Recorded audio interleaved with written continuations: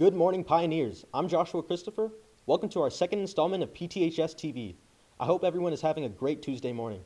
In today's episode, we'll be covering the football game against OP and the Dungeons and Dragons Club.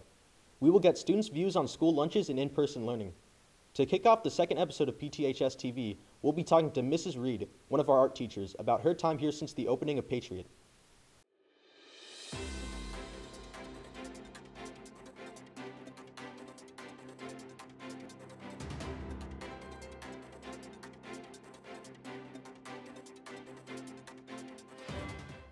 Hey, do you prefer in person or virtual school? And be honest. Well, whatever the case may be, we asked some of your fellow students here at Patriot which one they liked best.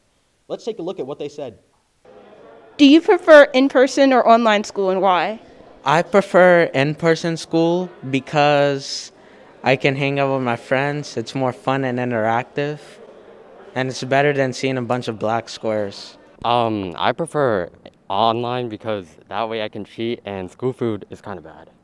Um, personally, I think I preferred in-person school more.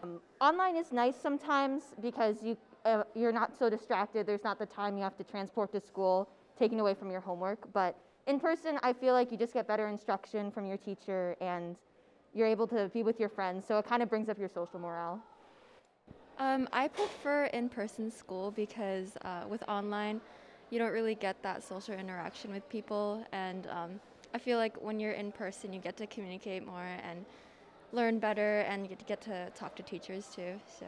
Um, I prefer in person because you're in the classroom and you know there's a whole different environment and setting and it's just different being like physically in the classroom. Based on the students' responses to a survey conducted in mid-September, 77% of students said they enjoyed sleeping in late during virtual learning.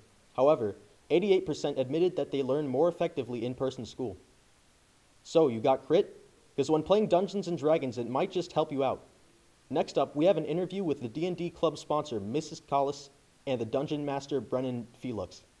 Hi, I'm Riley Strasser, and I'm with Brennan and Miss Collis. We're going to be talking about D&D. Brennan, what is the premise of D&D? The premise of D&D is a role-playing tabletop paper and pencil classic game. It comes back from all the way from the 90s, and now that it's come over into the 2020s, I'd say it holds up quite well. And what's your favorite part about D&D? For me, as a seven-year veteran, I've been playing this game for quite some time. My favorite part of D&D is seeing young players grow and even veterans grow as they play through their adventures, as their DM leads them through this journey of sorts, seeing their characters grow and develop, and for the love of the game, I honestly have to say that that makes my spirit definitely very happy inside. And Miss Collis, what's some stigma that you would like to clear up about D&D? Well, I'm new to D&D this year, and one of the things that, one of the stereotypes that I brought into Dungeons and Dragons Club is that it's something that only guys do. Um, and I quickly realized that D&D is a club that is open to everybody. Everybody enjoys it. Everybody loves to play it, and there's just as many girls in that room as there are boys. If anyone's interested in joining the Dungeons and Dragons Club, they meet pretty much every Tuesday. Whether you love school food or not, this year lunches are free to all students. We recently organized an informal poll to find out the most popular lunches. The top three favorites are popcorn chicken, crispy chicken, and pizza sticks.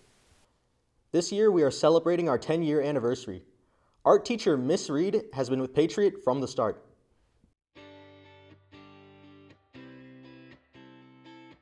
Well, my greatest memory is sitting in the trailer waiting to be interviewed for this position. Um, and then once we, I found out that I got the department chair job for fine arts, um, we all met at the high school and got a tour of the building before it was open to the public.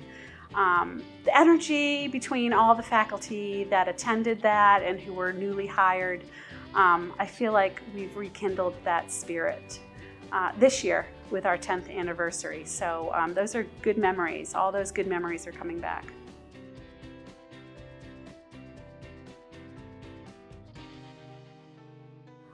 I think growth, just having more students, that's what's changed. But really, the teachers who want to be here, um, the ones who are passionate about what they're teaching, those teachers are still here. Um, other positive changes, just learning to be savvy with, um, you know, technology and um, working as a team to, to help each other out. I feel like that's a unique um, gift that we have here at Patriot that people are, staff members are, are willing to help one another more than maybe some other buildings. Pioneers faced off against Osbourn Park High School on Friday, September 24th. Here are some highlights from the game.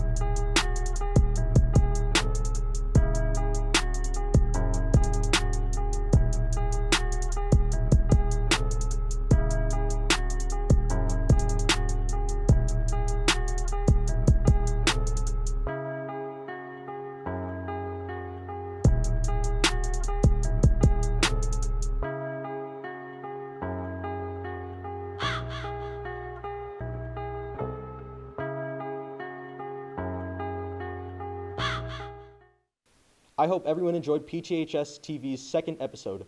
Thank you all so much for tuning in, but now we've got to tune out. Have a great day, Pioneers.